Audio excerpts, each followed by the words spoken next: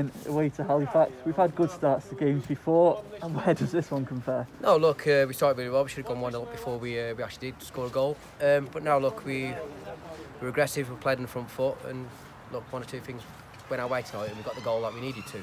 But possibly the same story at the weekend if that had been the case. You said that, something we said at half time, that maybe 20 minutes in, performance wasn't too different to some of our recent performances, no. except for the scoreline. No, no, no. Look, uh, you read things after the game, dreadful, um, etc. But people see a result and not the performance. And performance has been not too bad. Um, look, three defeats on the bounce. It's something that hurt the group, hurt us all. Um, but we took it. Uh, there's a lot of things been said, and fair play to the lads. A bit of a misfit situation with us at the minute. Bodies coming from everywhere and patching ourselves, patching ourselves up. But fair play to the group that's in there. They gave absolutely everything for this football club. You've mentioned the new bodies coming in. One of them, Goldan Matteo, his first start today, set up Dioran's goal as well. What did you make of his performance? Yeah, look, uh, we knew what was coming in um, from looking at him, um, scouting him before he, he, arrived. And look, he had, he had a massive impact. He's a, he's a big, strong, physical lad, and he gives us that platform that we probably well, we have missed since Kwame got his injury. Obviously, one player we can't avoid talking about, Jordan Davies. Just how good was he today? Yeah, look, um, uh, just not not so much his goals. I thought his overall play. He was arriving on first balls, second balls, and he was, he was taking the space when it was there for him. He was driving into. And look, it's it's his first full season. He he had his time with us. Went out to Bangor, played men's football. But then, look, I'm a mass, not massive fan of 23s football. Um, he's gone into it. Right, he got the opportunity to go to that level. Um, got swallowed up in it.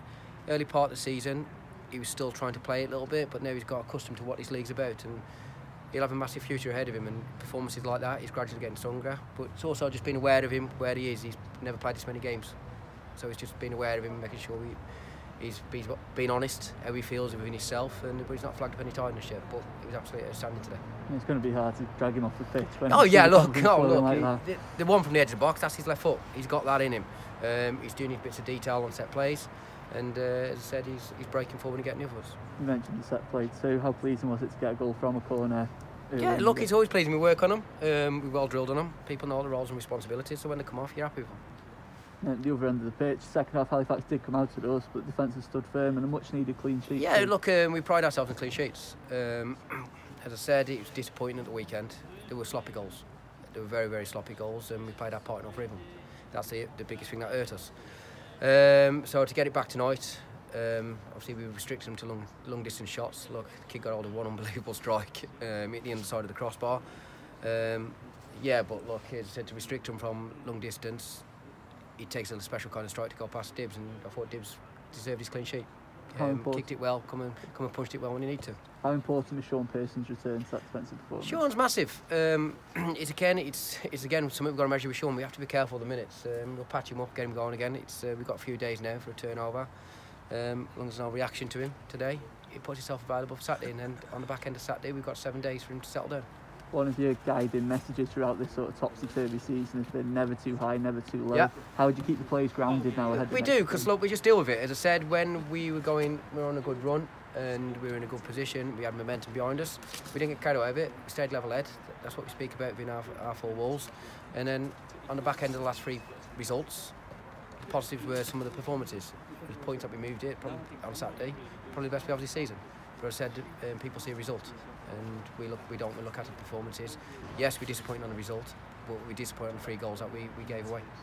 How was the body count for Saturday? What sort of options are you looking at for the weekend? Well, as it stands, we got um, everybody. Jay's back available um, for the weekend. Um, Theo, it's going to be. He's not going to be available at the weekend. He's still suffering with symptoms. So, as I said after the game at the weekend, that, that's the big thing disappointing for me.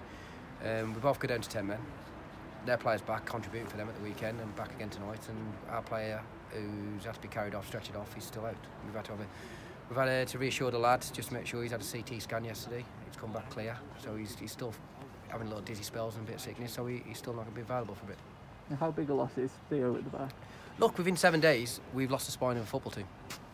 We lost Rob, we lost Theo, we've lost Jay, and we lost Kwame. So there was a lot taken without the group.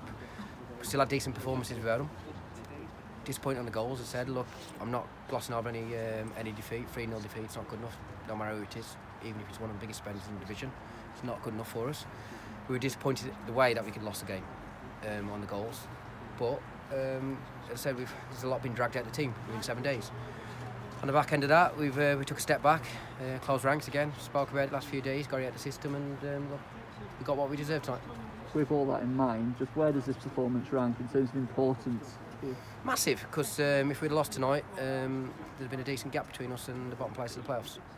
We going into the game, something said to the players. We, we tucked in. Yes, we're not happy with the last um, three results, but we're three points off the playoffs. We're giving ourselves a chance. We're right in the mix. We're on a 10-game season. Spoke about it earlier. What's happened before? It's all done now. We're looking at the last 10 games. Now we've got nine games left, so we've got a difficult game at the weekend at Woking. We'll patch ourselves up. We'll go again at the weekend. Yeah, thanks, Dean.